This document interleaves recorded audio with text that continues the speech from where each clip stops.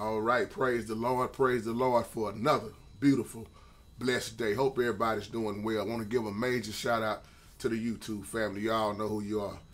Big Brother Midi Man, uh, just got through reviewing your video on the encounter and the one you did about the rapture. And I must say, powerful videos. And as I was just thinking, man, and the spirit just led in my heart to do this video, uh, common sense you know, a lot of people spend so much time, man, with their big time degrees and debating and forget about studying in the spirit and common sense. And by God giving us common sense and wisdom also, so many things in the word of God, brother, that's just you can use just common sense on and just take it for what it says. And I know a lot of people say, well, the Bible contradict this, the Bible contradict that. But we are all different. And I love when you say that and Pop say that a lot because if we was all thinking the same, something be wrong with that. And when God showed me something in the spirit, it might be different than what he might show somebody else in the spirit. But at the same time, when it comes to the word of God and believing in the truth, we should all be on one accord that's following Christ. And as I was looking at your video, man, I thought about common sense. Because I always tell people this, big brother, if you don't look at who's doing the talking, who is talking to, what time frame it was, that in the Bible, if you don't understand the metaphors, the parables, the analogies, whatever you want to call it, you're going to have a hard time understanding the Bible. And so many people have a hard time if they study it at all because, well, they want to get with this person or this person. When you start listening to too many people, hmm, and you never study for yourself and you just listen to too many people, you will stay confused. This is why I study for myself all the time. And when you was talking about that rapture, um, it made me think about uh, something I said in my older video. Cause I'm like you, brother. I said I can't see myself riding down the street. Say me and Pop on our way to go to our favorite fish place, and all of a sudden Pop just gets snatched out of the car. And I'm just looking around wondering where Pop went and some people on this side of the street get snatched up. Now we got the Lord coming back so many times, man. And and what's so sad that a lot of people don't catch is that Jesus told us these days was coming, but he also said, "Don't run back and get nothing." We can see what we can see what Lot wife did, but in these end times, when it really get to the end, he said, "Don't go back to get anything." That's the other part that Pop be talking about when we say get prepared. Now, like me, when I say get prepared, I always say ain't nothing wrong with stacking up stuff and, you know, buying food or, or, or water or whatever, or whatever you need to stack up with. That's what I be saying when I get prepared. Ain't nothing wrong with doing extra stuff. But at the same time, hmm, when the end is the end, the end is the end. And it always makes me think back to Y2K back in 2000 when man said the world was going to end. Most people went out and bought all kind of stuff. My auntie did the same thing. She went stacked up on so much water from the ground to the ceiling and canned goods. And I said, ain't if the end is here, what good is all that gonna do for you? You can't take it with you. And we all in this world, man, people are so caught on what man say. They're not even gonna believe in the word of God. And I said it's just common sense. And me and Pop was talking about this the other day when we was eating, and I said some things in the Bible you got to look at what it was, what it was saying and who it was saying to. A lot of things were applied to Israel, and you can't take certain scriptures and throw them at people and say, "Well, this is what that means." Let's give you another good example. When they say flee to Judea, head toward the mountains. Let's say it like that. Made man. I stay in Dallas, Texas. Here go my common sense kicking in. How in the world am I gonna run to some mountains? If the end is here, I ain't got nowhere to run. If the end is here, say the end is next week, JT ain't got nowhere to run. I can't run to no mountains. I stay in Dallas, Texas in the hood. Where am I going to run? See, common sense got to kick in. And, and the way Jesus taught is just beautiful. And I always thought about the disciples when he told the disciples ahead of time. And even though they was walking right there, they still had a hard time believing in God. How could you walk that close see things. He tell you what was going to happen, how it was going to happen, when it was going to happen. And you still don't believe. Well, same just like nowadays. Most people calling themselves Christians. They don't believe. common sense and studying in the spirit is what take me a long way. Because one thing I do is say, Lord, reveal to me. That's why I say now he might reveal it to Pop different. He might reveal it to Midi Man different, or whoever looking at this video. We don't all think the same all the time, people. We need to understand that. But that is no reason to have no fallout. This is why I can always look at Midi Man. I can look at a whole lot of people, though I might not agree on a whole lot of stuff, because people don't. Man might see something JT said and be like, I don't, I don't follow JT on that one, and that's cool. Who gonna get mad behind that? Me and Midi Man speak about and Pop. We speak about some of the same subjects, and we all tell it our different kind of way. That's the same thing the four Gospels did. Let's just be honest. They all was there to, not except Luke. Luke wasn't there. But when they told their stories, they all told it different. You can see in the Bible, and then that's why a lot of people say, man, the Bible is a lie. Look at what Mark said right here, but then Matthew said this. Where when you fast forward over here, John said like this.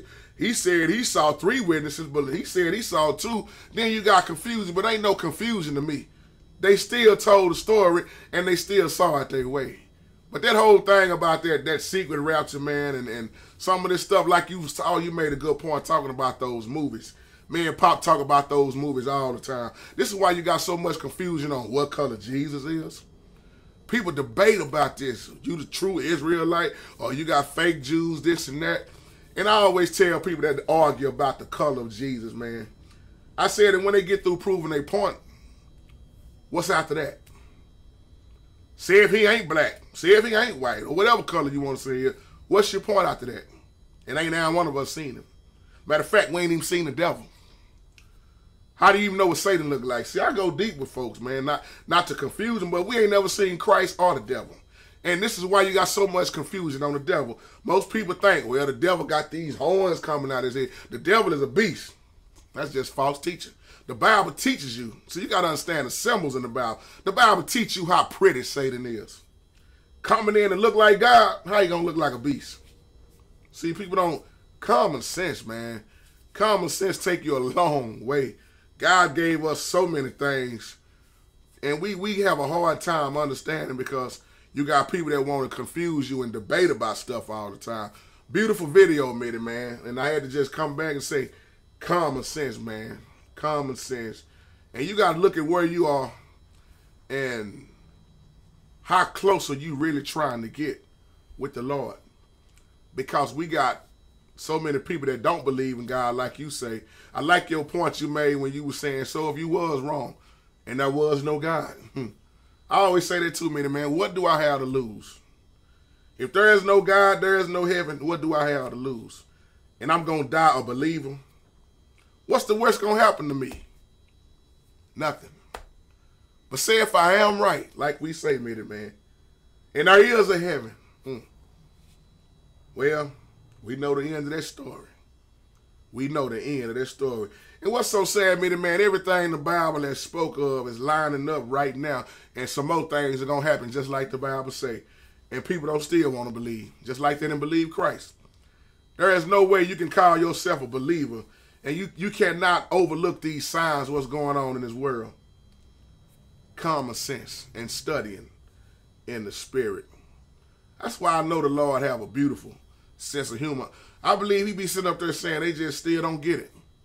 Out of all these years, out of all the teaching and preaching, they just still don't get it. They still don't understand my word.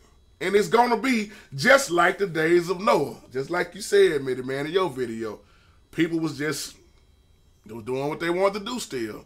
Drinking and having fun, getting married and, and not worried about it. But as soon as that flood came, like you say, it was only eight. Noah family, it was only eight that got on that ark. And we know what happened to the rest. Flood swiped them out. And that's the same way it's going to be when Christ returns.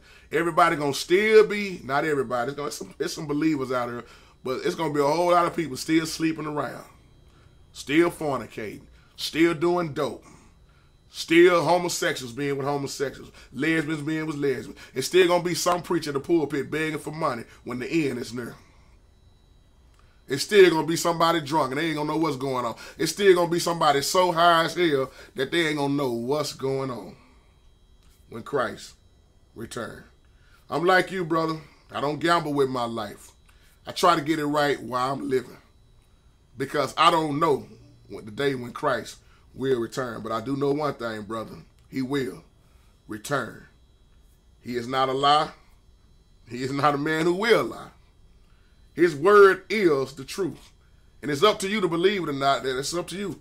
I can't make nobody do nothing. All I can do is be the messenger and not the enforcer. I don't have no keys to put nobody in heaven nor hell. I'm trying to make it into heaven myself. And I want you to be there. I want a whole lot of people to be there. But it seemed like a whole lot of people are choosing to fall in the devil's footsteps. It make me think of PP Drawing's old video. Which side will you choose? Because you got to choose. And PP Drawings, big shout out to you. Which side will you choose? You can't you can't be trying to halfway step into hell and try to just step on into heaven. You're gonna be like that rich man, because that rich man really he really could still see Lazarus. Hmm. And let me know it's a separation line right there. Uh-oh. That gulf in between that that that rich man still could see.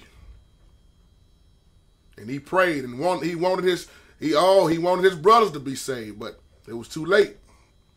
See, you got to catch. That's why I say common sense. So when I read that, my mind just automatically go to common sense. Hell and heaven wasn't too too far away. Because if he could still look down that line and see, and remind you that rich man was still alive and yet speaking and could see. See, people, you got to understand when you are still living, when you die, there is life after death. And there is no death in Christ. Christ conquered death. There is eternal life. Salvation is what you need to be focused on. Not how much money you can take up on Sunday morning, but salvation is what you need to be focused on. Not not how long you're gonna have another building fund, but salvation is what you need to be focused on. Not about who gonna fuss and fight over who gonna sing, but salvation is what you need to be focused on. Not about fussing and fighting in the pulpit to figure out who gonna preach that Sunday, but salvation is what you need to be focused on. Hmm. Not going outside looking at the parking lot to see who got the finest vehicle, but salvation is what you need to be focused on. Not not to see who's best dressed, but salvation is what you need to be focused on. Not about how much money you're going to raise at pastors and wives' anniversary, but salvation is what we need to be focused on. Not running the sinners out of the church and not condemning folks in the pulpit and not looking over the poor and the hungry and the homeless, but looking for that salvation. It's already right there. Hmm. How bad do you want it? We have turned so many people away from the house of God that don't nobody even want to go no more. That's why the church is within me, you, the believers. Don't care who you are, what color you are, whatever part you in around the world, it don't matter. I didn't even mean to go this far, man. I'm just letting the Lord work through me in this video. I, I just I just gotta be obedient to the Holy Spirit because that video it, it, it hyped me up this morning, man. And when I saw that in the count, I gotta see that movie, man. I want to see that because I have seen some movies, man, that ain't nothing but a lie. The devil got it, like like we say, Satan is the prince of this world. The devil, if he, he just so convincing and smooth and slick because he can take one word and flip it. God Almighty, and that's what he have done. And one thing that he flipped will confuse so many. That's why so many confused preachers, brother. People preaching their own doctrine now. I, I can start up a church right now and, and and we can worship this pen right here. And it's gonna be what our church is built on, this pen. And you know what? I can get a whole bunch of followers because a lot of people gonna believe in this pen. And I'm gonna put this pen higher than Jesus, and people gonna believe that this is higher than Jesus. You can you can start up a gospel off a pen right now. And that's sad and sick. And with that being said, brother, God bless you, man. Y'all have a beautiful day. See y'all on the next one.